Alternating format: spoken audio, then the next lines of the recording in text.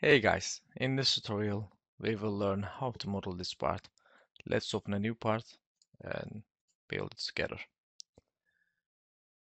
Uh, we need a front plane and I click front plane, I create a sketch and now I will pick a center rectangle and I will drop here that rectangle. 70 by 25 and I will extrude it 25 millimeter. So mid plane, if there is no reason, we make everything symmetric. I create on the surface sketch a circle and then a group of line. For now we can do like this. This is not necessary. I will align this two point horizontal and sometimes in my other videos you can see I put directly here a construction line. I found it convenient. This is 20. I will trim these lines, trim entities, power trim active and just you go through the ones that you wanna trim. Here we have three and here we got another three. Nice. We can cut it. Extrude cut. Up to next is fine. Now here we look normal too. Same idea in fact. Let's make it the way that I like. And I press my uh, right button, keep it pressed, and I pick here a circle and I will do for rectangle. This is how I model in normal life but uh, for this tutorial sometimes inconvenient. I trim again and here it was 15 here it was radius 10 it's 20 here it is 3 and I will add here one more tree Nice. We close it, sketch, we cut it. Up to next. To next important because if you do not do that, let's say you change your thickness and you kept kept this in 25 and you change your thickness. Sometimes the essays are very crowded. That will not be cut in that case. So that's why very important to, to think about the steps. I will make a chamfer 05 and simply I will select all the surfaces. Outer surfaces. It will be fine because it's difficult to put here a chamfer. Yes this is good. So now uh, uh, our circles uh, holes. We create on top a sketch top plane. Again a line and make it construction geometry and pick a circle. Okay. It is 4.5 at distance of 6. We say up to next. Up to the next. Or you can say up to surface. You can select it. And same going to be here when I'm modeling this kind of things, even I do not change plane, I just look in this angle and I know already here I have this uh, features that I can use. I keep the angle how it is and I put here a circle which was even I will do differently. I will not put another dimension. I will keep this one control pressed and I will make them oh it is not making I will make them equal. Something wrong here. I don't know why. Okay. Normally it would work, maybe not because of it is in the same plane. Uh, what was the distance? Here we knew it was 6. Because we are working as a sketch, and this dimension will be projectional dimension, not like an angular distance. So no worries for that. Extrude cut, we said up to next. Good. Hole wizard. I need metric 4 positions. One position here one position here. Now we click our the control and we keep pressed we say concentric and concentric. If you make any change now because you make the concentric this point will follow always this hole yes this is good part one is done. Second. We got a front plane. We plane placed a circle which has a diameter of 12 and after this operation we say him to be 16 or we can say also her.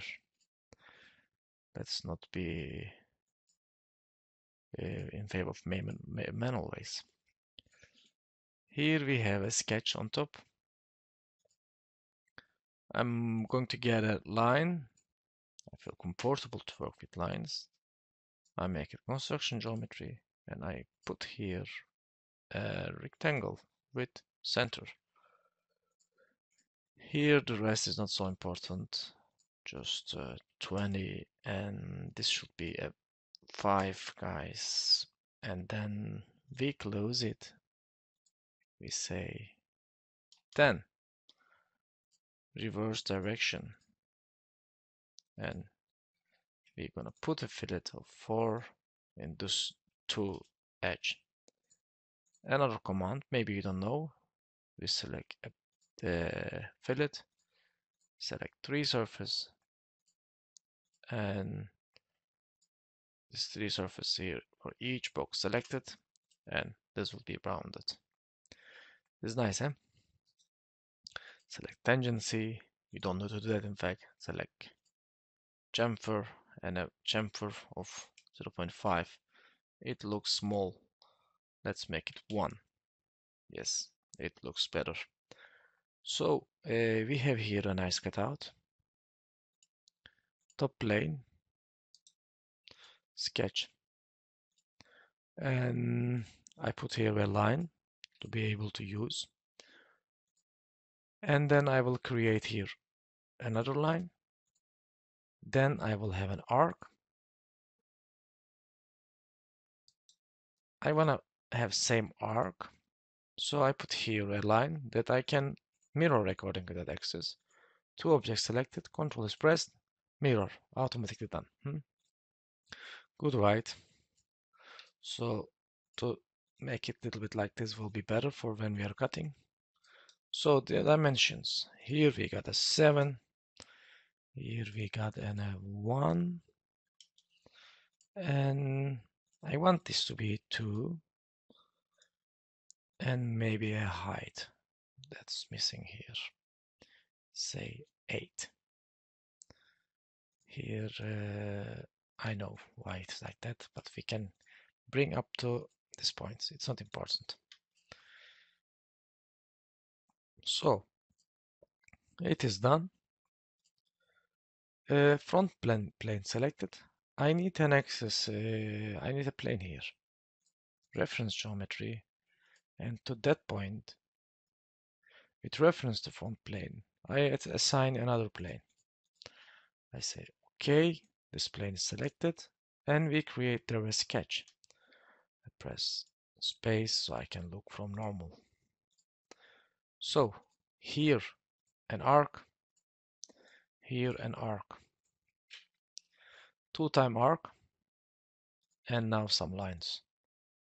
This is normal this is in an angular plane so I will constrain the start of this arc I have here 4 I have here a 10 degree and this will be equal. So I select line and the edge and concentric equal. So everything blue except this. This is missing a tangency we make a tangent. Endpoint is now free, which is fine. I don't have so big problem with that. So after this operation, we select the sketch and we select profile, features, swept cut. And we cut this nice shape. Now we try to mirror. Done. Fillet.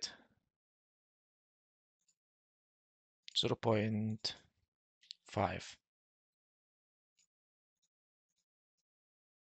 Also fillet here will be nice. This part will be expensive part, but yeah, we have this kind of things. Money is not problem today, guys. Here a little chamfer, maybe very nice. When I was making this kind of expensive designs, my bosses were saying, uh, you are rich today, make it from gold. I remember the days. we created a sketch and a circle and we cut uh, for depth. So because I want to place inside a thread, I want to have a thread here as well. So to make sure that I will clamp thread, thread there, clamp always stays there. Hole wizard, because we use metric 4, it will be here and we only need to drop this surface and then control press guys we select this point and this edge concentric the depth uh, up to next is good. Nice. We got these two parts and now I will open an assembly. I will open an assembly. I will bring there two parts. Seems my parts are not saved and it's not uh, recognizing them. And I will say here a new folder. Example. Pp1 one one let's say and the, part 2 this guy pp2 I use a lot of same part number sometimes because these are just examples and uh, I try to be creative and give different names. So here, little chamfer. Uh, it looks good. We have an assembly. Components will be here, PP1 and PP2. I select and I randomly drop them now. The first will be fixed. We make here a right click and say it float. I select original first part on its feature tree and I select my assembly origin tree. I say mate to be constant. This is the most robust way of working, guys. You should work in this way. If you work with thousands of uh, parts in models, things will be very difficult. You should be very economic in, in terms of using excesses, extra features. Otherwise, you will have big problem. So part one here, and uh, let's bring our standard equipment I mate here a, uh, I'm going very fast again